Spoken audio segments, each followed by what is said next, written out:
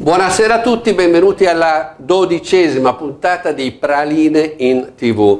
Questa, ve lo dico subito, sarà una puntata speciale, molto molto particolare. Di solito noi eh, presentiamo in queste puntate gli artisti con cui lavoriamo, eh, facciamo anche delle proposte commerciali, come è giusto che sia, eh, concentrandoci magari eh, un pochino di più sugli aspetti caratterizzanti dello singolo artista. Ebbene, questa volta abbiamo deciso di parlare di noi noi chi? Mandelli Arte. E quando dico Mandelli Arte intendo dire il sottoscritto e mia moglie. Mia moglie Tantao di origine vietnamita. Insieme abbiamo fatto veramente tantissime cose. Uh, lei mi accompagna da, da, tanto tempo e insieme abbiamo organizzato mostre, abbiamo fatto fiere, abbiamo eh, curato delle mostre, mh, mm, abbiamo proposto decine di artisti, eh, abbiamo creato collezionisti, ci siamo inventati 12 anni fa una cosa che ci rende particolarmente orgogliosi, una cosa che ci distingue da tutti, Ossia ci siamo inventati una rubrica di divulgazione artistica, le praline prelibatezze dal mondo dell'arte, eh, di cui probabilmente quest'anno festeggeremo la centesima puntata, ossia sono puntate monografiche per chi non mi conoscesse, sono puntate monografiche, ossia ognuna dedicata ad un singolo artista in cui cerchiamo di spiegare un po' lo stile, le caratteristiche, l'origine dello stile, quindi parliamo anche della biografia dell'artista, parliamo della sua visione del mondo, tutto questo per cercare di divulgare nelle, con le parole più chiare possibili, eh, vogliamo fare da tramite appunto fra l'artista e il collezionista, fra l'amante dell'arte. Ricevo anche tante testimonianze da studenti dell'Accademia a questo proposito, eh, beh, insomma, devo dirlo, io ripeterò spesso questa parola orgoglioso, Sono, siamo orgogliosi perché siamo entrati diverse volte in tesi di storia dell'arte o comunque di comunicazione della, dell'arte all'Accademia di Brera in particolare, e insomma siamo, è, è, un bel risultato. Ora, ehm, ho parlato delle mie praline, però forse non tutti sanno che esiste anche una versione inglese curata da mia moglie. Mia moglie, Liti Tantao, è un'anglista, cioè è laureata in lingua e letteratura inglese e americana e si è presa l'incarico di realizzare le praline in inglese, pralines, deliciousness from the world of art. Anche lei ha fatto parecchie puntate. Um, quindi io direi prima di tutto di uh, visionare una di queste puntate dedicate in questo caso a Walter Valentini, personaggio che ci è rimasto veramente nel cuore, avevamo un bellissimo rapporto, eh, un artista straordinario, bravissimo, eccezionale, veramente uno, un grandissimo maestro. Bene, eh, direi di passare alla visione della puntata dedicata a Walter Valentini condotta da mia moglie Tantao. Ci vediamo dopo.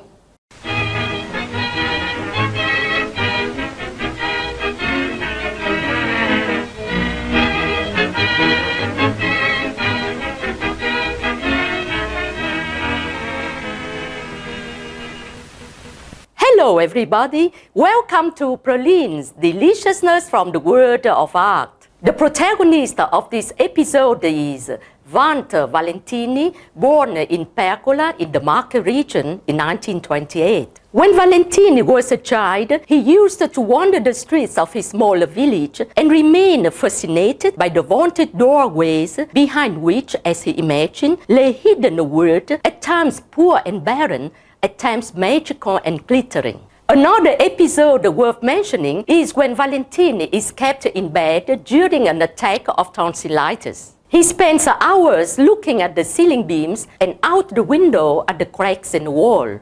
During the war, young Valentini takes part in the partisan movement where he encounters Albert Alcalay, a Serbian painter who gives him a strip of white color. This simple gesture, to some extent, has sealed his destiny. Soon after the war, he has the opportunity to move first to Rome, then to Milan, to attend the Convitto Rinascita, a professional school with secular imprints, where he gets connected with high profile personalities such as Pietro Consacra, Giulio Turcato, Max Huber, Luigi Veronesi, and Anber Steiner.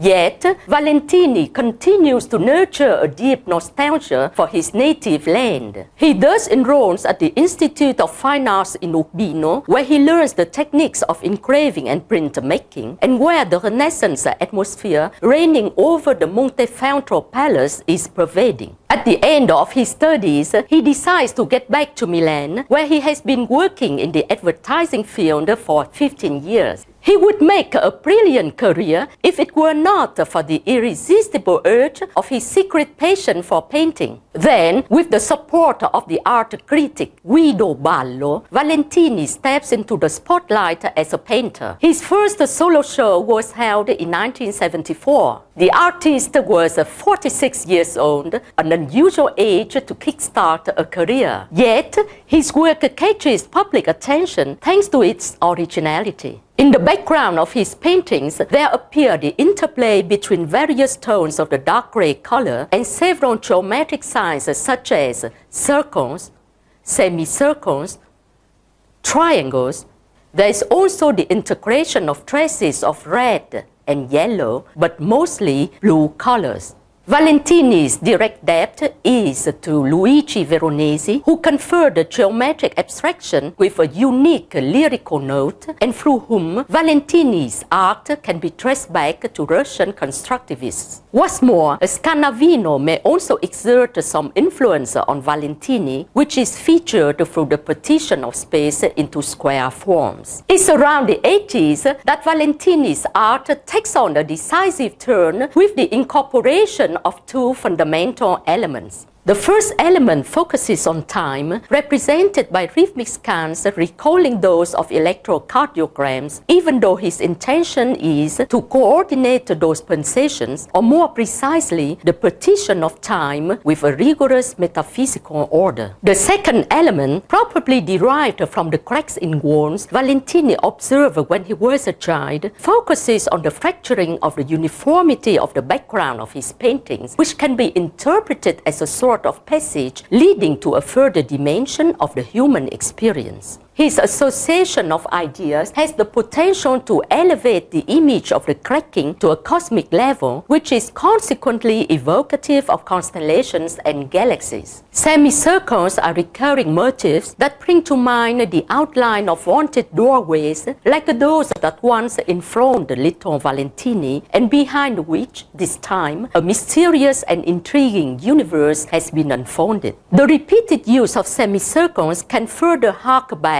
to the Renaissance arcades as those realized by Laurana in Urbino. This feature is best shown through the beautiful series of works dedicated to the fire in the Borgo by Raphael. While the great Renaissance master faced the challenge to maintain the rigor and harmony dominating the stanza della segnatura to enliven a scene characterized by movements and chaos, Valentini adheres to the compositional order, an order that corresponds to the divine one and thus obeys the laws of the universe. Valentini's works also embrace sections of cones and ellipses that evidently allude to celestial bodies underlined by traces of gold leaf. His elegant and refined approach to art wins him high appreciation from the protagonists of culture such as Hans Ritter, Paolo von Poni, and especially Mario Luzzi, whose poems are illustrated by Valentini's valuable edition graphics.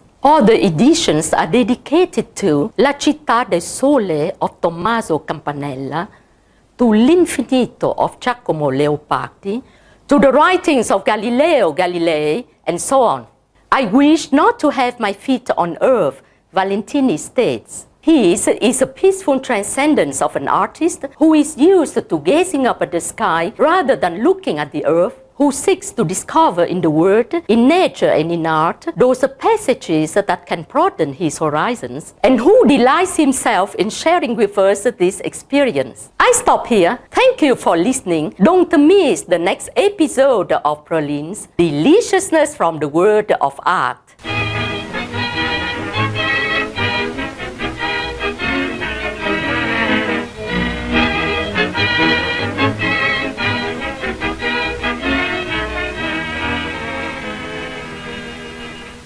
Brava Tantao, eh? dite la verità, eh, anche se non capite l'inglese avete visto che quanto è brava, quanto è grande la sua professionalità, eh, la sua preparazione, insomma è, eh, sono orgoglioso, oggi la ripeterò eh, tante volte eh, questa parola.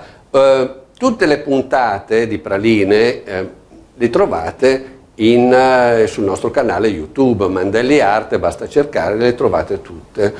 E Ora, ci sono tanti bravissimi studiosi, giovani studiosi, che fanno divulgazione artistica in rete. Diciamo che quando abbiamo cominciato noi, 12 anni fa, eh, eravamo un po' dei precursori e, e, quindi questa cosa è un titolo di merito, anche perché non mi risulta che vi siano eh, delle rubriche che si possano paragonare a quello che facciamo noi. Ogni tanto mi arrivano delle segnalazioni, anzi una cosa che mi, mi, piace che realizzando queste puntate di praline in tv, questa avventura televisiva, mi scrive la gente, ah ma guarda che io ti conosco da anni, perché seguivo le tue praline eh, e mi sono servite anche per lo studio, per eh, conoscere meglio l'artista, per avere conferma della bontà dell'artista in vista di un acquisto e così via. Benissimo, allora la, tramite la tv c'è un rapporto diverso di, di conoscenza, anche perché tramite gli, eh, eh, i riferimenti, numero di telefono e indirizzo email potete scrivermi e mh, mm, prendere contatto direttamente con me. Bene. Andiamo oltre e um, volevo parlarvi di un'altra cosa, eh, si tratta di questo. Allora, fra i tanti artisti a cui abbiamo dedicato una delle nostre praline, ci, ce ne sono diversi che hanno voluto renderci delle testimonianze positive sul nostro operato. Allora, eh, ne presentiamo tre in questa occasione. Eh, la prima è di Mr. Save the Wall, Pierpaolo Perretta, uno degli artisti eh, più desiderati dal mercato in questo momento, ma non solo, è anche una persona molto intelligente, una persona culturalmente preparata, quindi partecipe del dibattito culturale che si sta svolgendo in questo momento, quindi anche attraverso la sua opera cerca di eh, prendere posizione su alcuni elementi anche teorici riguardanti la storia dell'arte. Ma poi, quando uno riesce a trovare un soggetto che diventa una vera e propria icona, veramente stiamo parlando di qualcosa di importante, nel senso che lui ha creato questo famoso manager con la faccia da ranocchio e ehm, l'avete visto dappertutto, nel centro di Milano c'è stato per mesi eh, diverse, eh, con diverse fattezze e, ehm, e, quindi è anche uno dei soggetti più desiderati dal mercato appunto quindi eh, lascio la parola a Mr. Save the Wall e ci rivediamo dopo. Caro Sergio, grazie per avermi fatto entrare nella storia dell'arte attraverso le tue praline. Sono davvero una chicca, quella che tu chiami la prelibatezza del mondo dell'arte. Sono davvero orgoglioso di essere stato messo da te a fianco di mostri sacri, idoli indiscussi, punti di riferimento anche per me. Per questo voglio dirti grazie, sei una persona autentica e profonda. Pierpaolo Perretta, nato a Como il 12 agosto 1972 sotto il segno del leone. Passiamo ora alla seconda testimonianza rilasciata da una persona che a noi è molto cara, oltre che essere un bravissimo artista. Omar Galliani che reduce da una mostra che definire grandiosa direi che è poco. Perché? Perché è eh, una mostra realizzata a Palazzo Reale a Milano l'estate scorsa, una mostra che tutti quelli che l'hanno vista l'hanno considerata una cosa straordinaria, strepitosa, eh, una mostra che ha definito una volta per tutte il fatto che Omar Galliani è un artista fra più importanti della scena mondiale. Questo io continuo a dirlo, guardate che Omar Galliani ha un'importanza, è uno degli artisti più importanti che ci sono al mondo. Quindi eh, io vi farei vedere, per rendervi partecipi di questa eh, emozione, di questa sensazione, vorrei farvi vedere un breve servizio che io ho realizzato all'interno della mostra e di, di Omar Galliani, dura poco, un minuto, è realizzato in collaborazione con Arte Investimenti. Ci vediamo dopo.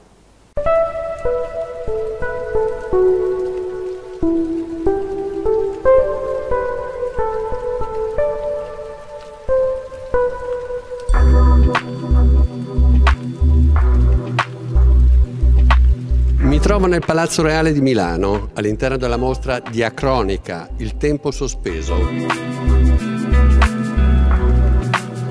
Si tratta di una antologica di Omar Galliani, curata da Flavio Caroli e Vera Agosti, in cui sono esposti molti dei suoi lavori più importanti realizzati nel corso della sua lunga carriera.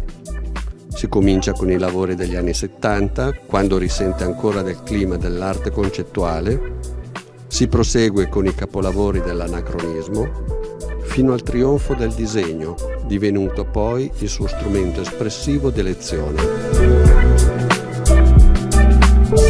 Il percorso espositivo, tuttavia, è stato organizzato privilegiando una suddivisione tematica a quella cronologica. Si va, secondo la definizione del curatore Flavio Caroli, dall'universo simbolico, all'universo mitico, a quello psicologico, quello erotico, quello scientifico e quello paesistico. Le sue opere prendono ispirazione dalle situazioni più varie della realtà che ci circonda, ma il disegno di Omar Galliani è in grado di trasferire la quotidianità in uno spazio in cui si celebra un ideale di bellezza senza tempo. È una mostra imperdibile, un'occasione unica per ammirare alcune delle opere più significative dell'arte italiana degli ultimi decenni.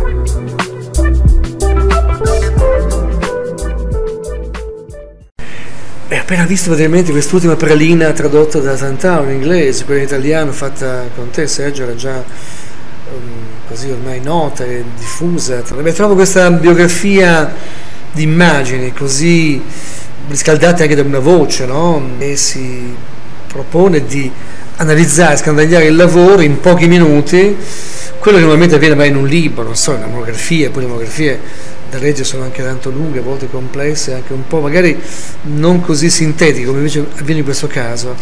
E questa sintesi della pralina la trovo veramente efficace divulgativa, piena di, di, di, anche di sapori e di miscellanee no? tra immagine, testo, questo dinamismo anche nel presentare il, il lavoro che mi sembra veramente straordinario. Grazie.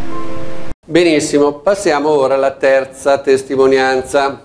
Devo fare una piccola premessa. Allora, io ci metto sempre la stessa passione e lo stesso entusiasmo quando realizzo le mie praline. Questo lo devo sottolineare tre volte. Eh?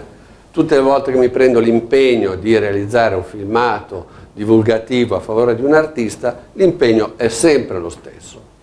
Poi succede che con alcuni artisti si arriva ad avere anche un rapporto personale, magari anche denotato da amicizia, da una mm, più profonda intesa personale. No? Detto questo, abbiamo però ottenuto una testimonianza che le surclassa tutte le altre.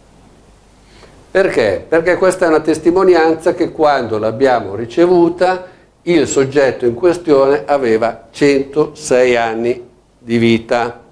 Sto parlando di uno dei mostri sacri della cultura italiana, sto parlando di Gillo Dorfles, il quale è stato un grandissimo professore di estetica, esperto eh, di, di, arte, eh, studioso del costume, ma aveva anche una particolare attenzione alla produzione creativa, ossia eh, gli piaceva realizzare delle opere d'arte, forse non è eh, così conosciuto, però ha avuto una sua storia assai importante. Benissimo, io eh, ho realizzato una puntata a, mh, dedicata all'opera di Gillo Dorfles, ebbene, alla fine lui ha voluto rilasciare questa piccola testimonianza che però per noi è veramente molto, molto, molto preziosa. Eh? Stiamo ad ascoltarlo. Il risultato di questo filmato mi pare veramente eccezionale, non solo dal punto di vista visivo, ma anche per eh, la sequenza dei concetti che dà un'idea, devo dire, eccezionale del mio pensiero. Quindi io sarei veramente felice se potesse essere eh, divulgata abbastanza per arrivare a un pubblico più vasto. Quindi ci sarei moltissimo che potesse essere eh, inclusa in un programma televisivo. E insomma, diciamoci la verità, avere una testimonianza del genere è tanta roba, eh, come si dice in gergo, è tanta roba e non è che capita tutti i giorni. Del resto noi siamo un po' specializzati nel creare eventi unici in particolare, dopo ci arriviamo. E, um, una cosa che volevo segnalare è la mia attività che svolgo su Facebook, soprattutto sui social network. Io prediligo Facebook perché è quello che mi permette di più di esprimermi attraverso la scrittura no? e mi permette magari di entrare a fare anche, e facendo anche delle riflessioni un po' più approfondite. E, mm, è un vero, eh, tante volte la considero un po' una mia palestra di eh, scrittura. Ora, eh, fra le cose che mi piacciono di più, io faccio questo mestiere per passione, essenzialmente. Se non avessi la passione non farei questo mestiere, andrei a vendere qualcos'altro sicuramente. Ma, date le mie caratteristiche, una delle cose che mi piacciono di più nella vita, dovete sapere che è andare a trovare gli artisti nel loro studio. È una cosa che mi piace tantissimo, soprattutto andare a rovistare fra le cose più vecchie, andare a vedere gli inizi, eh, così, confrontarmi con l'artista, mi piace tantissimo. Ebbene, ogni tanto capita che visitando studio, lo studio di un artista ne faccio anche un resoconto su, uh, su, Facebook, un resoconto che poi è una pagina di critica che uh, gli artisti stessi possono utilizzarlo magari per pubblicarlo su un catalogo o come presentazione della loro attività, eccetera. No? Per cui è una cosa che io faccio molto molto volentieri, quindi eh, sono a disposizione, Mandelli Arte è a disposizione anche per questo. Eh, detto questo passiamo alla, bah, al prossimo capitolo. Oggi è una puntata molto ricca. Eh. Ebbene, fra le tante cose che già facciamo, ogni tanto ci capita anche di curare delle mostre fra queste ve ne segnalo solo una, che però ha le caratteristiche dell'eccezionalità, nel senso che eh, si tratta di uno dei fotografi più importanti della storia, Nick Ut. Magari a molti di voi il nome dice poco, però se vi faccio vedere questa foto, capite subito di che cosa si tratta. Si tratta di una delle fotografie più importanti della storia, che è valso è valsa a eh, Nikut il premio Pulitzer 1973. Dunque, noi avevamo conosciuto Nikut a una fiera eh, in Svizzera e lui ci aveva chiesto candidamente se potevamo organizzargli una mostra personale a Milano in occasione del cinquantesimo anniversario della foto, ma soprattutto se potevamo procurargli un appuntamento col Santo Padre, Papa Francesco, a cui lui avrebbe voluto regalare, omaggiare una copia della sua foto firmata. Ebbene, noi ci siamo messi all'opera, abbiamo messo in piedi tutto quanto e siamo riusciti nell'impresa eh, a, a, cominciare da una mostra straordinaria appunto che si è realizzata a Palazzo della Regione Lombardia a Milano nel mese di maggio del 2022, eh, 2022 a cui ha partecipato anche Kim Fook, la ex bambina che nel frattempo è diventata una donna molto attiva nel campo della promozione della pace. Anche lei è una donna assolutamente straordinaria.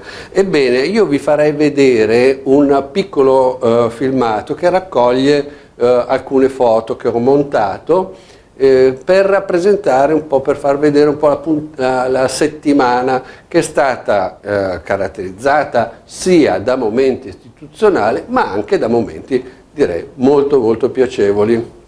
Ci vediamo dopo.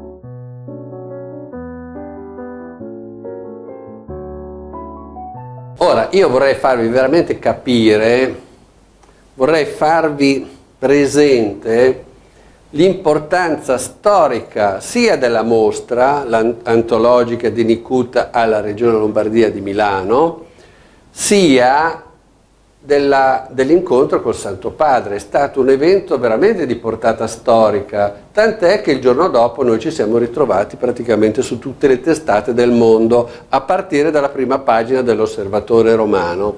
Quindi si tratta di una mostra veramente irripetibile. Io non so eh, immaginarmi che cosa potermi inventare per fare qualche cosa che gli si possa paragonare di così importante, di così prestigioso, di così unico. Veramente si tratta di un qualche cosa che rappresenta probabilmente l'apice di tutto quello che abbiamo fatto in tutti questi anni. Bene, come avete visto si è trattata di una puntata veramente particolare, spero che vi sia piaciuta, che abbiate gradito. Per noi era veramente molto importante informare il grande pubblico televisivo sia su tutto quello che abbiamo fatto in passato, sia su quello che continuiamo a fare. A proposito di informare, eh, noi stiamo progettando una newsletter, una newsletter che contiene appunto tutte eh, le nostre attività. Se volete riceverla non dovete fare altro che scrivermi all'indirizzo che vedete oppure mandarmi un Whatsapp e sarete inseriti nell'elenco. L'ultima cosa, prima di salutarci, ehm, andate a vedere il sito www.mandelliarte.com andate a vederlo perché è bellissimo sia come grafica sia per le cose che contiene ha delle, delle, delle, opere veramente strepitose, voi potete fare tranquillamente la vostra offerta, eh, quindi sentite, sentitevi liberi di entrare in contatto con noi. Bene, mi rimane soltanto il tempo per salutarvi, ringraziarvi per avermi ascoltato e darvi l'appuntamento alla prossima puntata. Arrivederci.